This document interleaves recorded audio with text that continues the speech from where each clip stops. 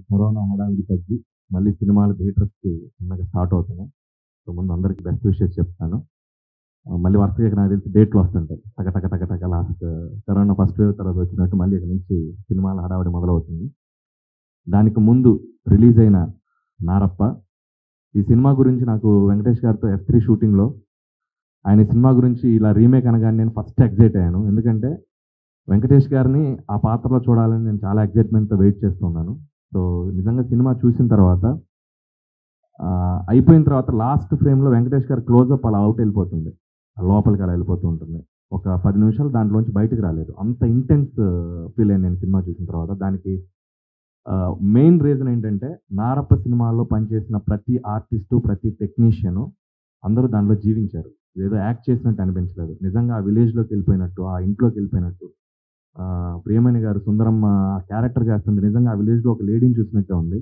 So super Priyamani గారు. నిజంగా ప్రియమణి గారు ఆవిడ నటనకి తగ్గ పాత్రలు చేసిన ప్రతి సినిమా సూపర్ హిట్. అంత గొప్ప పెర్ఫార్మర్ ఆమె. సో డెఫినెట్గా looking forward to work with అండి. అలాగే ఇక ఈ సినిమా గురించి మాట్లాడితే ఆర్టిస్టుల పేర్ల కంటే పాత్రల పేర్లే గుర్తొస్తాయి. మునికన్నా సో చాలా బాగా చేశారు. నీది కంచరపాలెం కూడా చూసాను. ఎక్స్ట్రాడినరీ పెర్ఫార్మెన్స్ నీకు మంచి ఫ్యూచర్ ఉందమ్మా. అలాగే చిన్నబ్బా. సూపర్ నాన్న. అలాగే రచ్చరవి వెరీ గుడ్. తేజ్ అందరూ మా చాలా బాగా చేశారు. నీకు మంచి ఫ్యూచర్ ఉంది. అలాగే పాప చైత్ర అలాగే మిగతా ఆర్టిస్టులు అందరికీ నా బెస్ట్ విషెస్ చెప్తాను.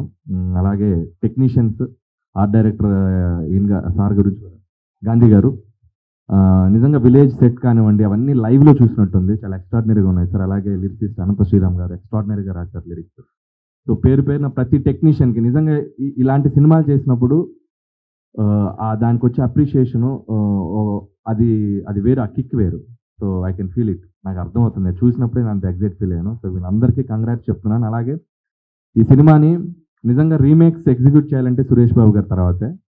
సో అది ఇప్పుడు రికార్డ్ కాదు ఎప్పటి నుంచో ఉంది. ప్రతి ఫిలింని చాలా చక్కగా ఎగ్జిక్యూట్ చేస్తారు ఒక రీమేక్ ఫిలింని. అలాగే శ్రీకాంత్ అడ్డాల గారు. నిజంగా ఆయన అన్నట్టు శ్రీకాంత్ అడ్డాల గారిని మనం చూసిన సినిమాలు వేరు ఇంతకుముందు ఈ సినిమా అనగానే అసలు ఈయన ఎలా డీల్ చేస్తారని నేను వెయిట్ చేశాను. నిజంగా సినిమా చూశాక మీలో కూడా ఇంత టెర్రిఫిక్ ఒక కమర్షియల్ యాంగిల్ ఉందని నాకు అర్థమైంది. ఇలాంటి అప్పుడప్పుడు మీరు వాటితో పాటు ఇలాంటివి కూడా అటెంప్ట్ చేయండి సార్. శ్రీకాంత్ అడ్డాల కూడా కంగ్రాచులేషన్ సార్.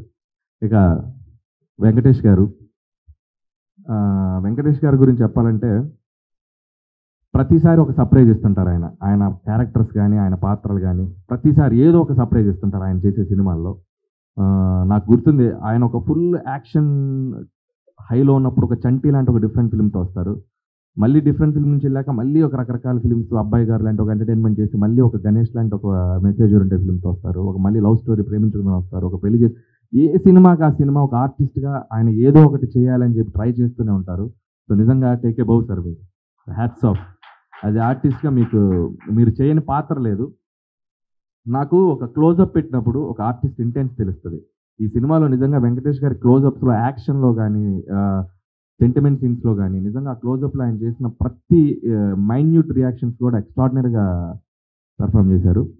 ఆయన గురించి ఒక్క మాట చెప్పాలంటే మనం క్రికెట్ లాంగ్వేజ్లో చెప్పాలంటే ఒక గ్రౌండ్లో ఒక బ్యాట్స్మెన్ ఆడేటప్పుడు అన్ని షాట్స్ ఆడితేనే అతని క్లాస్ ప్లేయర్ అంటారు. ఒక స్ట్రైట్ డ్రైవ్ కానీ కవర్ డ్రైవ్ కానీ ఒక ఫుల్ షాట్ కానీ ఎనీ షాట్ అంత అందంగా ఆడితేనే అతను కంప్లీట్ క్లాస్ ప్లేయర్ అంటారు. నిజంగా మన తెలుగులో నాకు తెలిసి వెంకటేష్ గారు is a class actor. So I'm feeling proud. ఆయనతో అసోసియేట్ అయ్యి ఆయనతో వర్క్ చేసినందుకు నేను చాలా ప్రౌడ్గా ఫీల్ అవుతున్నాను. అండ్ ఇందాక ఆవిడ అడిగినట్టు నేను చాలా వెయిట్ చేస్తాను ఎఫ్ త్రీ గురించి. సో నిజంగా ఇంత పాండమిక్ తర్వాత కుటుంబం అంతా కలిసి సరదాగా నవ్వుకోవడానికి ఎదురు చూస్తున్నారు. డెఫినెట్గా ఎఫ్ త్రీ రాబోతుంది. రైట్ టైంలో రైట్ ప్లేస్లో ఆగస్ట్లో అనుకున్నాం బట్ ఈ వేవ్ వల్ల కుదరలేదు. నిజంగా అందరూ అనుకున్నట్టు రైట్ ప్లేస్లో రైట్ టైంలో ల్యాండ్ అవుతున్నాం. అది వెంకటేష్ గారు చెప్తారు. సో ఎఫ్ త్రీ కూడా త్వరలో మేము ముందుకు రాబోతుంది.